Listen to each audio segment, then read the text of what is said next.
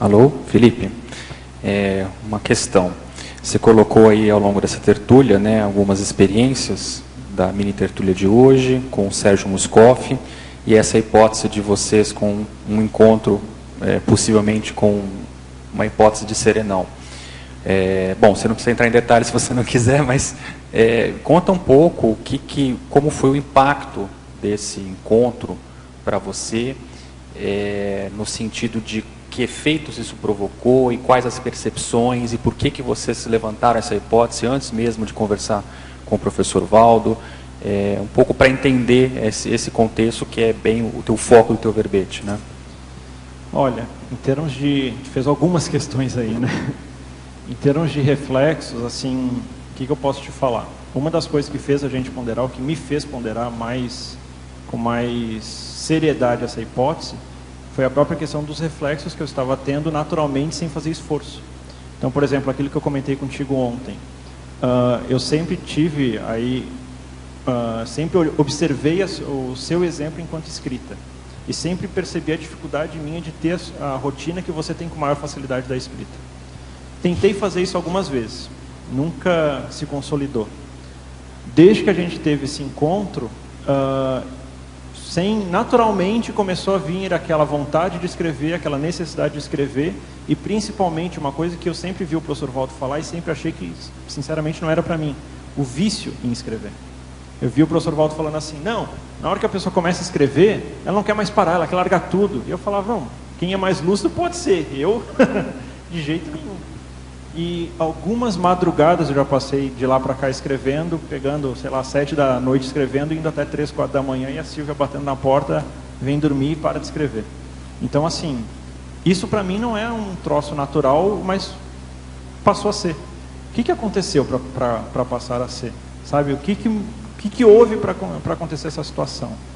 Outras questões, a própria facilidade de aumentar o nível de autocognição perante o fluxo do cosmos um entendimento não, eu não vou chamar de profundo, mas não tão simplório como era anteriormente. Então, alguns reflexos desses aconteceram que me fizeram uh, questionar assim, o que está acontecendo. O que, que aconteceu? O que que eu estou passando por o quê? Mas isso você está colocando é a posteriori, a posteriori até um tempo depois. A posteriori. Agora, o, o que eu, a minha pergunta também com relação, isso também é relevante sem dúvida, mas é com relação ao momento. Ao momento. Que o momento certamente teve algum aspecto que chamou atenção, sem que dúvida. sobressaiu e, enfim, é isso que eu queria entender um pouco mais. Ao momento foram algumas, sim, não, não foi uma situação, foram talvez a gente elencou quase duas dezenas de situações que fizeram de uma situação aparentemente normal, de ela tornar-se anormal, né, atípica. E uma coisa que me fez, a gente foi visitar um, um, uns amigos, uh, uh, e aí nesta, nesta visitação, por acaso tinha uma pessoa sentada no canto da sala, olhando com, olhando televisão, olhando Faustão, sei lá com a cara de, eu lembro até hoje, com a cara de parvo, de besta ou de qualquer coisa nesta terminologia. Só que a força energética do ambiente era descomunal. Eu via, eu percebia praticamente, eu, assim, a associação que eu fiz foi com blocos de concretos de energia circulando com uma força anormal dentro do ambiente. E aquilo movimentando e movimentando e movimentando, aí entra naquilo que a gente estava conversando com o Ricardo, de onde vem isso? Qual que é o núcleo disso? Quem está fazendo isso? E aí eu comecei a fazer tentar fazer o sensoriamento de cada uma das pessoas e me chamou muita atenção aquela pessoa que estava lá no canto. Essa pessoa foi convidada para para se juntar ao grupo e se sentou na mesa. A gente estava tomando café, se sentou na mesa para bater papo e ficou lá como se tivesse moribundo. E eu comecei a fazer o censuramento de cada uma das pessoas, e as pessoas começaram a debater questões políticas, questões de direito, questões da vida cotidiana. E eu comecei a perceber que essa pessoa aparentemente boboca, ela só observava, tinha um nível de retidão energética absurdo, assim, a sensação, o impacto que me dava de olhar para ela era de fazer uma revisão da minha vida, de começar a refletir sobre principalmente as minhas rotinas.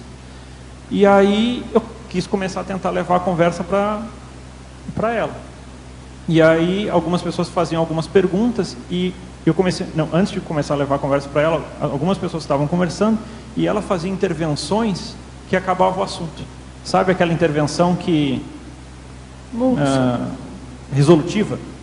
E eu comecei a achar não. Se eu estou percebendo esse nível de retidão, de energia diferente, e, e essa pessoa ela é ela tem essa capacidade de resolver o problema e fazer aquela cara de, de boboca, tem alguma coisa acontecendo aqui.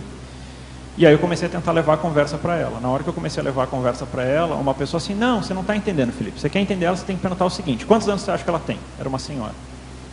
E aí eu olhei assim e falei, bom, uh, não sei, 70? Tinha 96 anos. E, a pessoa, e aí aquilo já me deu um primeiro impacto. E aí o segundo impacto foi, pergunta quantos remédios ela toma. Nenhum. E aí eu perguntei assim, mas como? Ela colocou, não, eu não tenho dor, não tenho, me sinto bem, eu vou no médico, o médico pergunta se eu estou bem, eu falo que estou bem, eu vou vir para casa. Nunca tomei remédio nenhum, nunca tomei situação nenhuma, me sinto bem, tenho a minha vida ativa e está tudo certo. Então esses foram alguns indicativos intrafísicos. Eu não tinha dúvida nenhuma que foi que a pessoa tinha macrosoma e N outras coisas aconteceram que aí eu acho que não vem muito ao caso colocar. Mas N situações atípicas nesse sentido. E a gente conversou, eu e a Silvia conversamos, e eu cheguei para a Silvia assim, olha, eu acho que a gente encontrou uma pessoa diferenciada dentro da escala evolutiva, com certeza é melhor que a gente. Eu não tenho dúvida nenhuma em falar que é melhor, essa pessoa é melhor que a gente. E eu penso, e ela é, o que, que tu acha? Eu penso que essa pessoa é desperto para cima. Ela, pois é, quando a gente estava indo de carro visitar né, esses amigos nossos, me veio na cabeça que hoje a gente ia conhecer um serenão. E eu falei, não, calma, isso também não. E a Silvia, bom, eu estou falando que me veio na cabeça. E aí aquilo ficou, sabe, uh, instigando, martelando. E aí aconteceram outras situações, outras coisas vinculadas a isso, mas enfim, na volta para cá, eu fiquei com aquilo na cabeça, não saí isso da minha cabeça, não, não conseguia parar de pensar nisso. E aí eu fui conversar com uma pessoa que eu tenho confiança para ver, ó, tô doido, não tô doido, tô estou irracional, estou racional na abordagem. E quando eu comecei a relatar os fatos com detalhes, no momento que eu fui falar, não, e a nossa hipótese é que essa pessoa seja um serenão. Eu não consegui terminar a palavra. Por quê? Quando eu comecei a falar se, eu senti um, não foi um banho, foi um fluxo de energia diferenciado. E ao mesmo tempo que esse banho de energia vinha, esse fluxo de energia vinha, eu comecei a chorar compulsivamente. E não é o teu padrão. Não. Com certeza não. Só que eu comecei a chorar e eu não me sentia emocionado. E eu não sei explicar. Eu não sei explicar, eu não sei o que, que houve. Eu sei que eu sentia. Não era um vazio, mas é como se fosse. Não era um vácuo, mas é como se fosse. Não era emoção, mas eu não conseguia parar de chorar. E eu não consegui terminar a palavra. Aliás, eu nunca tive chorar, para ser bem pois é. sincero. É. Isso foi na epígrafe, pensa a situação. e o mais engraçado é que essa pessoa da minha frente começou a chorar junto. Os dois. Na epígrafe só faltava botar a mão dada chorando. e eu perguntei, o que, que você está sentindo? Eu senti um fluxo de energia e eu não sei, eu, tô, eu, eu, eu não sei. E eu, pois é, eu também não sei. E isso para mim foi a chave de assim, eu tenho que levar isso mais a sério. Porque eu não posso desconsiderar esse fluxo de energia que eu recebi na hora que eu fui falar a palavra serenão. Então eu cheguei em casa e falei, Silvia, aquela tua hipótese, eu quero ir falar com o Valdo, vamos falar com o Valdo. Fomos falar com o Valdo, passamos 50 minutos na mesa dele, ele quis saber de tudo e mais um pouco, perguntou tudo que você possa imaginar e um pouco mais, e ao final ele deu o diagnóstico dele falando que tudo indica que é possível sim que seja um serenão e que a gente deve levar isso mais a sério. Então, uh, vamos dizer, existem outras, outros fatores disso, mas é mais ou menos nessa linha a situação. Agora, uma outra questão. É, você avaliando hoje, você tem algum arrependimento, alguma coisa que você acha que você poderia ter feito no momento e não Sem fez? Nenhuma. Assim, mais como, né, para a gente também ficar vacinado. Esse assim. verbete na realidade é nessa, é, o grande motivo é essa situação. Por quê? Porque o professor Valdo, ao mesmo tempo que ele colocou essa situação, ele foi bem enfático conosco em colocar o desaproveitamento que nós tivemos da situação. Então ele colocou: vocês não tiveram inteligência contextual para saber aproveitar isso que aconteceu com vocês mas vocês tiveram experiência. E aquilo a gente tentou argumentar com o Valdo, mas Valdo, e não sei o que, mas e as pessoas, e o tempo, e o horário. Ele, não, tudo, tem que mandar tudo isso para aquele lugar e dar um jeito de aproveitar isso melhor. Vocês não souberam aproveitar, vocês foram ingênuos, a situação se colocou, aí eu ainda tentei falar, mas Valdo, Você, uh, você sempre não fala que no, no, quando a gente está presente a consciências mais lúcidas, a gente deve baixar a cabeça e deixar a pessoa uh, dar indicação para fazer alguma coisa? Aí ele, seu bobo, se ela foi até vocês, essa era para a indicação. Vocês não foram atrás dela, ela estava esperando vocês. E aquilo mexeu comigo. Pronto. E aí eu comecei a refletir demais em relação a isso, comecei a estudar tudo que o Valdo coloca nos, nos tratados em relação à serenologia. E aí, numa dinâmica com o Pedro, novamente, eu, você deve lembrar, uh, onde foi feito quatro perguntas, você fez uma, eu fiz outra para a Consciex, eu fiz uma pergunta no seguinte sentido, como entender o que aconteceu conosco, sem falar o que aconteceu, ninguém entendeu nada, eu não queria que ninguém entendesse, nem eu estava entendendo. Mas o que a Consciex falou, falou muito, mas o que ela falou, o resumo da ópera, é que houve uma paracondução extrafísica, mas que nós temos que pensar o que, que nós deixamos de fazer para ter uma atuação tão vexaminosa como tivemos. E isso foi a, a para mim foi a chave assim, porque o nosso entender nós não conseguimos aproveitar tudo aquilo que deveria. E aí quando eu coloco neste verbete aquela aquela listagem das 30 categorias de pergunta, é que na hora que foi colocado isso, eu, coloquei, eu comecei a pensar assim, ok, se eu, se eu revivesse isso hoje, quais perguntas eu faria para um serenão? Eu não sei. Não sei. Então isso para mim criou um impacto. Por quê? Porque você pesquisa em vexologia também, é colocado no, como uma das metas da inversão existencial a entrevista com o serenão. Se eu me preparo para Invex como um todo e esse, e esse tema eu deixo de lado, que nível de eficácia de Invex eu estou tendo? Então isso mexeu demais comigo, entende? Então, pós, assim, a situação que você falou, tem alguma coisa que você se arrepende? Sim, não ter pensado nisso antes. Não ter me preparado para isto antes. Não ter encarado essa situação como uma, uma hipótese real a ser conquistada por um intermissivista. Eu não posso te falar que a gente teve esse encontro com, com Serenão, porque ainda é uma hipótese, eu não posso ser religioso em falar que é. O próprio Valdo colocou isso. Olha, eu não conheço, não sei, não fui eu que vivenciei, mas pelo que vocês estão, tudo que vocês me relataram bate com aquilo que eu entendo com serenologia, mas eu não tive experiência. Mas independente de ter ou não ter, isso para mim sinceramente ficou muito secundário. A questão para mim prioritária ficou a falta de preparação para a evoluciologia, para a serenologia. Por exemplo, o professor Valdo fala uh, que a pré-intermissiologia, a prospectiva da pré-intermissiologia é que muitos de nós, dentro de 200 anos, chegaremos à condição de semiconsciex. Quem são os amparadores de semiconsciex? Despertos? É, epicons? Tenepsistas? Não tem lógica. É daí para cima. Então, se daqui a dois anos a gente, a 200 anos a gente pode estar com uma condição de semiconsciex, é porque daqui a 200 anos a gente pode estar com um vínculo muito mais íntimo com serenões, evoluciólogos, teleguiados, e isso tem que ser encarado de um modo palpável, real, objetivo, não mítico. Sério.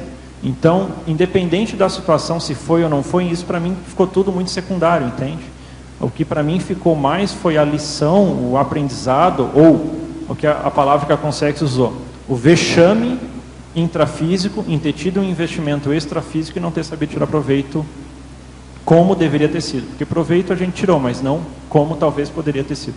Então essa situação para mim foi a mais é o resumo e é principalmente na hora que a Consex me falou.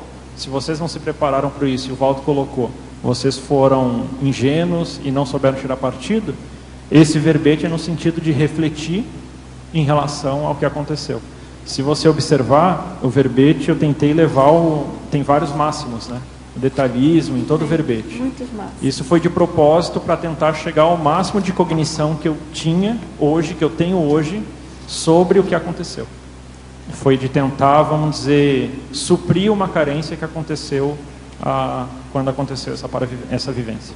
Felipe, é, você acha que a CCCI ainda tem uma visão mística da escala evolutiva? Eu não tenho dúvida nenhuma disso. Tanto uhum. é que hoje tem pessoas na conscienciologia que já estão encarando a dispersidade como um fato e não colocam ela abertamente porque sabem todas as ocorrências que, é, que derivam de, um, de uma pessoa vir aqui e afirmar eu sou desperto, eu sou evoluciólogo, eu sou epicom, eu sou qualquer coisa é, nesse sentido. Isso mesmo, concordo. Felipe, você fazendo uma, tendo uma visão analítica sobre o encontro com essa serenona, possível, né? Você acha que ela tinha autoconsciência da condição dela? Olha, eu tenho muita dificuldade de responder isso, mas a minha lógica tenderia a levar que sim, porque teve um momento que foi um, outro momento que me despertou assim as situações que foram n situações que eu não relatei aqui, né? Que eu acho que não vem ao caso, mas teve uma coisa que eu acho que dá para ser falado. Uh, eu questionei assim, como fazer? Porque eu já estava desconfiado que alguma coisa diferente era, mas não seria não. Como fazer para chegar na sua idade com esta com esta nível de homeostase? Você perguntou? Perguntei. E a pessoa falou assim: olha, são duas coisas. Uma, o que você come. Eu tive um problema uh, gastrointestinal na minha juventude, onde me obrigou a, durante toda a minha vida, comer saudavelmente. É aquilo que o professor Valdo fala, né? A questão do serenão ter uma doença, uma física. Doença, quem tem um é, paramicrochia. Exatamente.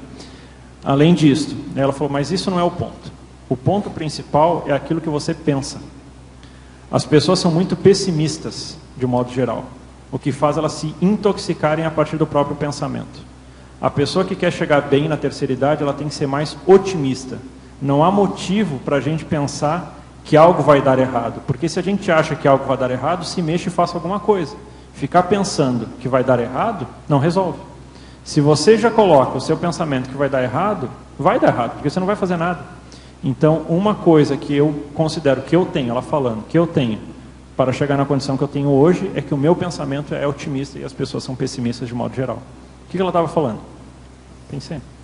Base da conscienciologia. É.